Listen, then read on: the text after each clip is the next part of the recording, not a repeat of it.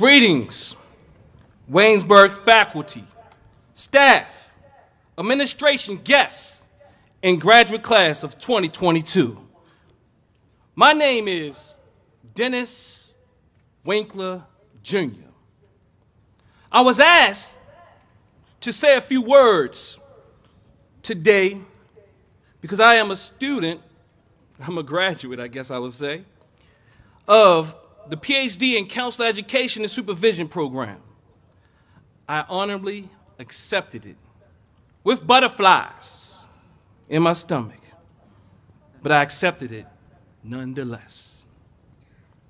There's an African proverb that says, smooth seas don't make skillful sailors.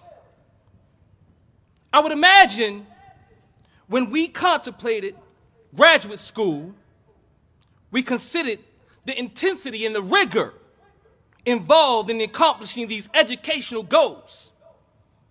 Nevertheless, schooling at, at some level, after doing it for 16 years, has some level of predictability. However, how things have unfolded over the last few years with COVID and all the injustices that made it in the media, there was a lot added to the work that we've been used to. In a similar vein, my start here at Waynesburg was not typical. Before Waynesburg, I was in another doctoral program for two years, and it closed without notice. As a clinician and a more prepared one after my educational experience here at Waynesburg, I've questioned whether I fully processed that stressful experience. I felt lost. I didn't know what to do, but I didn't give up. When many closed their eyes on the students in the school that in the program that I was in, Waynesburg accepted us with their arms open, consistent with their values and principles. They named us the A team of the CES cohort, which was a wonderful experience. I didn't know what to expect, but it was beautiful. They welcomed us, they cared for us. I believe I can speak for all of us when I say we received the care that we needed during such a traumatic period in our lives. I'm sure that many of you have stories about how Waynesburg has touched you and how they have lived up to their mission and values by creating an atmosphere to help you thrive. Yes, I had to write an entry essay again. I had to send in a resume again, complete another application. And yes, I had to prove that I was PhD material after already being in a PhD program. Nonetheless, the staff and the faculty helped me, and I'm sure you every step of the way. My entry interview with the faculty gave me hope. They were excited about my research, especially Dr. Bowser, who said, You can do so much with this, even break it down into smaller studies. I said, Boy, I was excited after hearing those words. I said to myself, I want her to be the chair of my dissertation committee. And I was successfully blessed to have her walk with me every step of the way.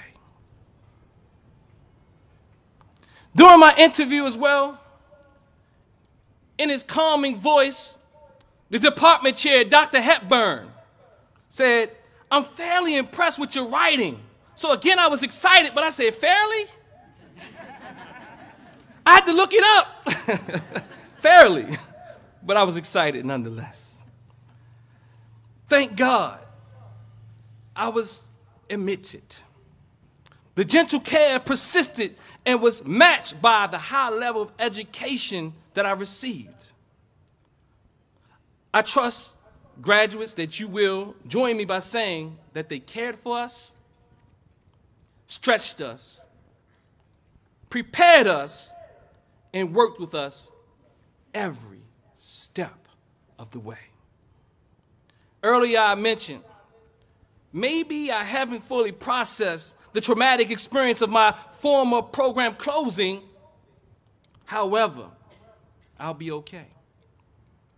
As a trauma informed psychotherapist, and I'm going to say again, after Waynesburg, a more prepared one, I realized that growth is possible after a traumatic experience when one can find positive meaning in that experience. I have done that. I believe that God set forth the path and knew that I and we would get exactly what we, what we needed for our journeys forward. No, it wasn't easy. But as, I, but as I said earlier, smooth seas don't make skillful sailors. Nelson Mandela is noted for saying, education is the most powerful weapon which you can use to change the world.